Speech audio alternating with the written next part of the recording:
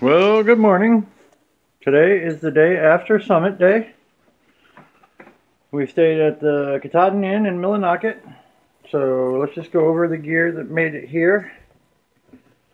These are my shoes, which made it from Hamburg, Hamburg, not Germany, uh, Pennsylvania. So they lasted a thousand miles. They stink very badly. There's shoe glue and sewing line holding them together. They are completely kaput, so I'm going to throw those away.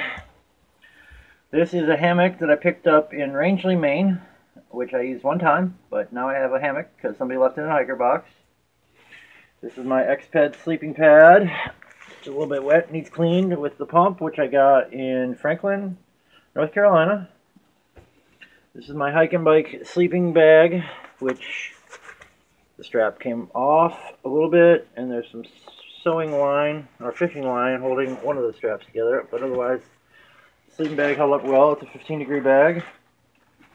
These are Frogg Togg rain pants, which I got in New oh, Vermont in a hiker box because mine tore up. But that was a great purchase, the Frogg Toggs. I'll get to those in a second later. I got the Super German Cream. I got Leo the Lion, toothbrush, toothpaste, dirty water bottle, my bag, which was awesome. It's an Osprey Exos 50 Atmos. It was great. It held up well. There's nothing in it right now, so it's at its original weight of 4 pounds, but it stinks a little bit. I got my Flash Superhero, which I got in Hanover from Flash Fire and her family. I got my uh, hand sanitizer. There's my toilet paper, American flag, my clothes, which I have two shirts, my camp towel, my uh, thermal, three pairs of Darn Tough socks, and my Lightheart Gear tent. My Lightheart Gear solo awning was awesome. This is my Frogg Togg tops, which are totally kaput. They're more duct tape than they are actual Frogg Toggs anymore, but they made it the whole way. This is probably my best purchase. $7.99 for the Frogg Togg tops and bottoms. Then over here we have my food bag, which is a 25 liter bag from Walmart. It was awesome. It's like a $3 purchase. My Xero shoes, uh, which were my camp shoes. They weigh 7 ounces. They're awesome. My Adidas Puffy, or Poofy if you're from Germany. Adidas, that's what they would say. That was awesome and comfortable. It's my backup battery, which is an Anker. It weighs about one pound, but it gave me, uh, never ran out of battery, not one time. Then my three bag system from Walmart, the yellow, red, blue. The yellow one was my clothes bag, so this holds all my clothes, that's why it's empty. The blue bag is snacks and coffee, that's why there's still a little bit in there, because I never ran out of coffee. I made coffee every morning on the trip. It's the only thing I didn't give up.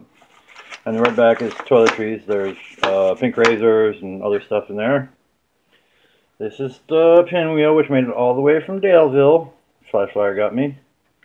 My headlamp, uh, fuel, my spoon, which came from Paisanos. Carried that the whole way. This is my Jetboil zip, which is awesome. Make uh, coffee and oatmeal if you wanted to, but I just made coffee. Made coffee for two people every morning. Here's my Wolfie hat, which made it all the way from Daleville also. I picked that up in Daleville. Seahawks hat, because the Seahawks rule. And then here's my dry electronics bag, which the Anker battery went in, all my cables, and my guidebook, and a pen.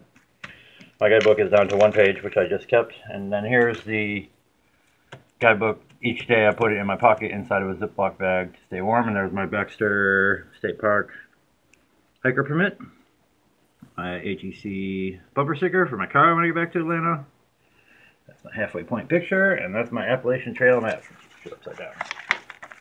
Inside it shows the whole entire Appalachian Trail that we hiked from Georgia all the way to Maine. So that's all the stuff that made it. Oh, and my trekking poles. I forgot about my trekking poles because they're kaput too. But uh, I was the only person that I saw on trail with Easton trekking poles. But the tip fell off of one of them in New Hampshire. They collapsed without warning and that's held up with duct tape. So, but they made it all the way. so I'm pretty happy with my gear. Anyway, that's all for now. Happy hiking.